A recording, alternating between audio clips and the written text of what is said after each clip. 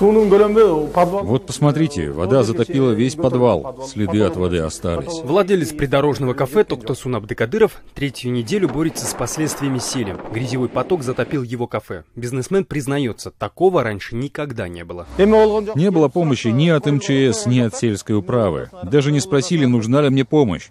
Все последствия сели сами ликвидировали. Дорогу в Бомском ущелье, которая соединяет Бишкек и Сыкуль, отремонтировали два года назад. Но каждый раз после обильных дождей трасса превращается в бассейн и парализует движение. По словам местных предпринимателей, строители просто забыли проложить водосточную трубу. В этом месте мост раньше был. Когда дорогу строили, его закопали. Фактически, если мы сейчас начнем копать, мы его найдем. Проектировщики трассы ответственность на себя брать не решаются, но настаивают. Трубы здесь никогда не было и необходимости в ней нет, а все беды свалили на небывалые осадки. Наверняка, да, может повториться. Сейчас мы работаем над этим. Мы внесем в Минтранс э, несколько предложений. Выберем из них э, самые оптимальные и будем работать уже согласно уже принятым решениям. Когда будут исправлены ошибки, допущенные при строительстве дороги, неизвестно. В Минтрансе денег на это нет. На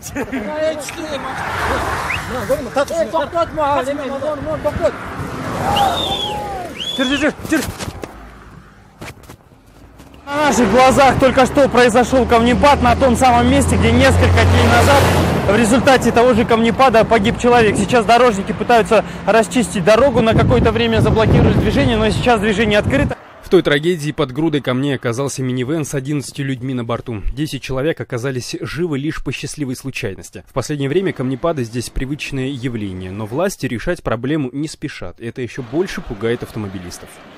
иногда таштар түшүп кечинде кээде өтөбүз да ошол кечинде өткөндө дагы таштар түшкөндөн ошол жолдорго кыскасы адамдарга зыян келтирип атат да ошолорду дагы бат баттан тазалап турушса жакшы эле Дорожники ведут дежурство прямо на трассе, чтобы оперативно ее расчищать. Но почему укрепительные сооружения не были возведены при строительстве, остается загадкой. Лишь гибель человека заставила Минтранс обратить внимание на проблему.